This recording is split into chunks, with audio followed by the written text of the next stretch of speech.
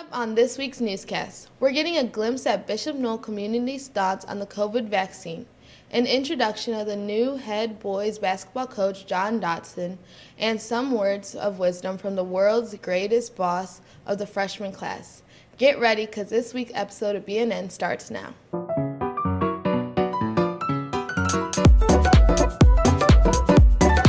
The Drama Club's socially distant production of Clue is right around the corner. The radio style play will be live streamed the weekend of November 20th. Okay, so this year we have two different viewing methods of the play. We are still going to have a live audience, so please do come out. Um, so, how we're going to do it is we're going to set a maximum of between 70 and maybe a little less audience members max in the house. So, Friday, Saturday, and Sunday, you could still come out and see the show, but there's going to be a limited amount of ticket sales. We're actually going to pre sell tickets this year, so that way each night we have a maximum amount of people. Um, so, through the company that we license the play, we are actually able to stream the show, and you have to buy a ticket still to be able to watch it streamed. Um, so the Drama Club has been working hard to get the word out about the live stream through a series of TikTok videos they're using to campaign on social media. Um, I think they turned out really funny, and it's a really good advertising component. Uh, they're all in character, they're all in costume, and it gets people to think, oh, hey, what's this all about? So hopefully, over the next few weeks, we'll be releasing some more TikToks to help advertise. They're just fun to do, and everyone's addicted to them, so we thought we'd hop on the trend. Bishop Noll's virtual production of the classic Who Done It comedy Clue will run November 20th through the 22nd with limited auditorium seating and a virtual audience. Today, all students are encouraged to take part in the virtual college fair, which runs from 9.30 to 1. Students will be able to attend the virtual college fair during their classes if teacher allow. Freshmen will go from 9.30 to 9.45, juniors 9.50 to 10.30, seniors 10.35 to 11.15. Everyone again during lunch, and sophomores from 12.30 to 1. Yeah, it's a great opportunity for students to participate because you're going to be able to experience uh, different colleges that you may have never seen before or even heard of. Um, so it's a great chance to go out there and ask questions to uh, college reps about your personal interests and what their schools are all about. So my suggestion is when you're actually in the college fair environment is to stop by every single school and ask them some basic questions, you know, what majors they offer, uh, maybe you know what kind of activities they have going on through throughout the year. Um, if you're interested in sports, maybe ask about their sports teams as well too and how that looks. But getting to know the different colleges and the different uh, resources that they have at each school was very important for, for all students.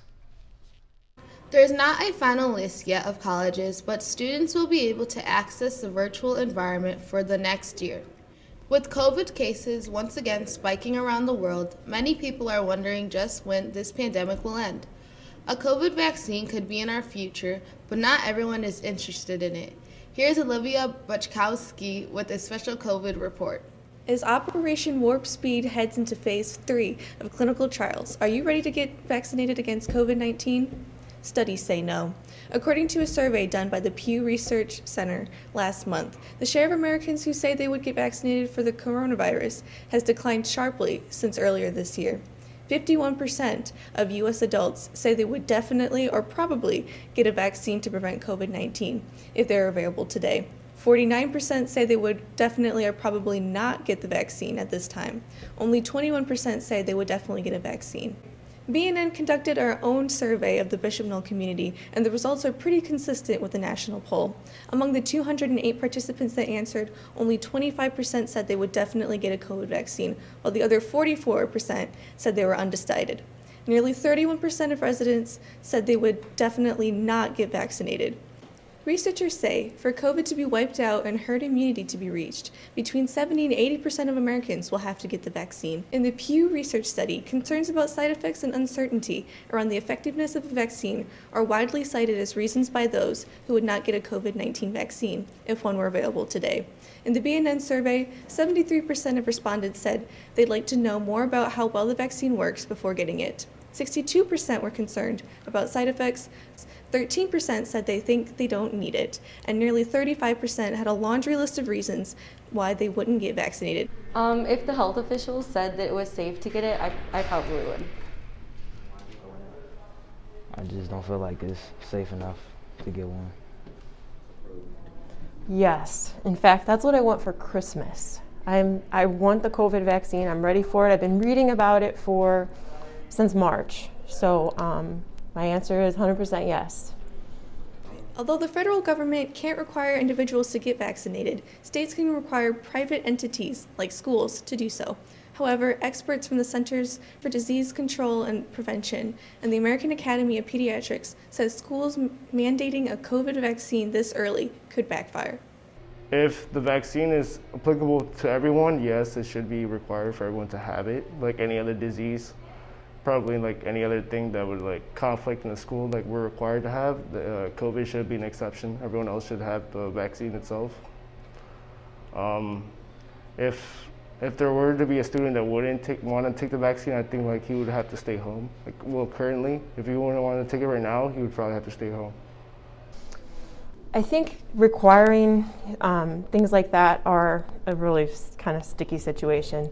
Um, in, in, a situation like this, a pandemic, you know, vaccines, the more people that get them, the better they work. Just like masks, right? Because it's, um, you know, the less hosts that the virus has to infect. So if more people have the vaccine, then the virus can't infect them, right? It kind of takes that percentage down. So although it would be ideal if a, a, a well-working vaccine that's safe, if more people got it, you know, we're still humans and we, we deserve a choice as to what's best for us. Um, I know a lot of people go out, and I kind of go out a lot, and it's just like, you know, for like, you know, people not to spread it around. So, yeah, kind of.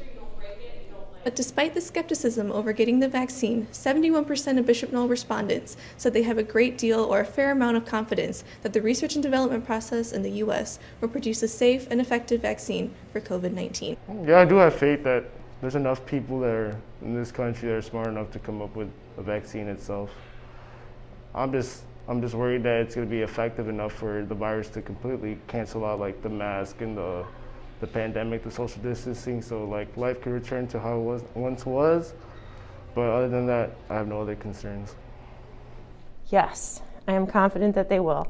Um, this is, you know, regulated by the FDA, and there's a very stringent process of several phases that have to go through to make sure that the vaccine is safe. Um, vaccines throughout you know the years, the history of vaccine and medicine have been one of the safest forms of medicine that we have. Its Food and Drug Administration has said it would authorize a COVID 19 vaccine if it was safe and at least 50% effective in preventing the disease or decreasing the severity of infections. Although Anthony Fauci, director of the National Institute of Allergy and Infectious Diseases, has said scientists are hoping for a vaccine that is at least 75% effective. That's all for this week's news. Here's Alexandra with sports.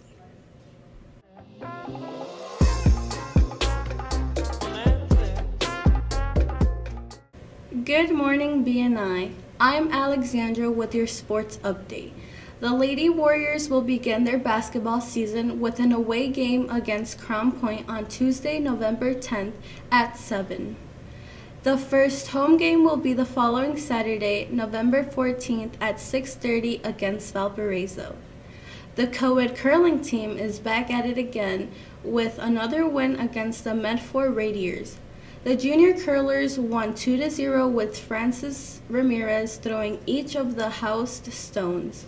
Boys basketball is preparing for a new season and a new coach and a whole lot of new changes.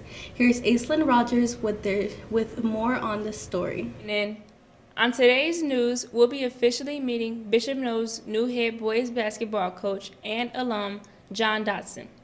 He graduated in class of 2012 and was a part of the 2011 state runner-up team. So my first question to you is, how does it feel to be back at your old high school coaching basketball? Um, it feels pretty good. Um, you know, I think this is one of the most exciting opportunities that I could have had. Um, you know, I've been doing coaching for the last couple of years. Um, definitely once I saw the opportunity open back up, I thought it'd be no, no better place to do it than home. Dotson, who also played college basketball at Benedictine, is familiar with the coaching style at Bishop Noll, having played under Coach Jude Tross and former assistant coach Josh Belumini.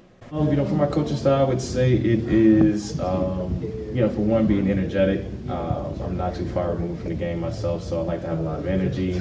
Um, you know, really like to push the guys. Uh, you know, like to have a lot of fun as well. So.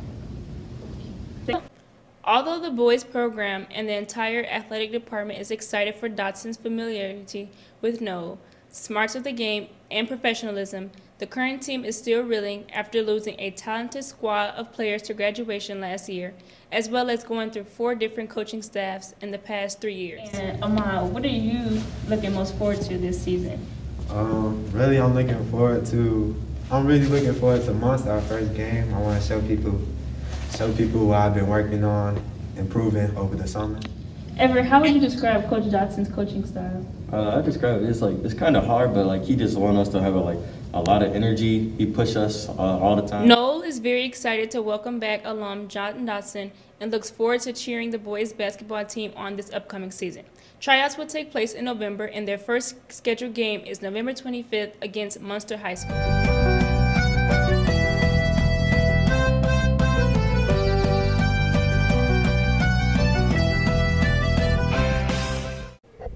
Guess what? I have flaws. What are they? Oh, I don't know. I sing in the shower.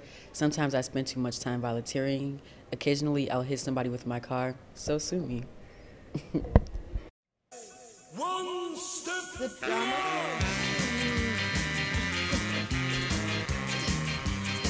I had a feeling.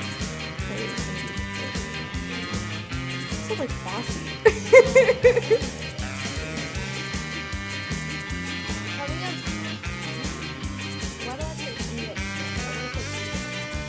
such as I've heard that the COVID vaccines have things to control people. I wouldn't trust that they would put something in it. I think it's the mark of the beast. The government is coming after us. They're trying to control us. I'll get it when Jeff Bezos gets it. It's a government scam. They're going to kill you to decrease the population. The vaccine, to me, is the government trying to push out something on us, such as the mark of the beast, and I'm not for it at all.